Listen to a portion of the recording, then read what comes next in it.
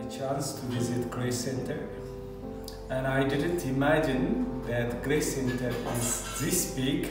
I was so surprised by the things I have seen and the spirit of compassion here. So the moment I saw the children laughing, enjoying, relaxing, and I heard many stories and I feel like, oh, God is living here. I mean, literally, it touches my heart.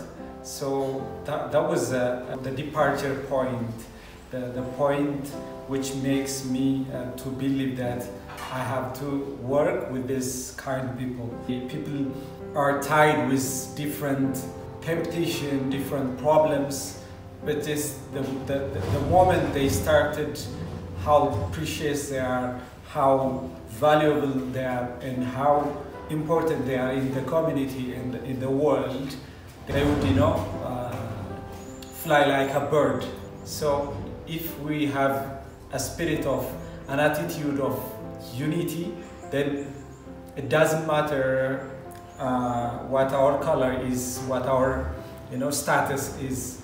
When we come up with something with great love, with great compassion, and put all those together, it's like doing a mosaic because each tiles alone doesn't make that big picture, but when all those colors put together, it, it makes sense. If we protect or value our environment and you know celebrate, appreciate what is around us, then happiness starts. The reason why I believe in working with Grace Center is uh, I found Grace Center, their mission is stated in their name.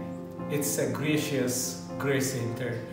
It's a place where God lives, where people can't be, you know, shy, afraid, depressed. It's where love flourishes. So I really literally feel that I appreciate that and I want to keep working with Grace Center. Thank you very much. This is a great honor and uh,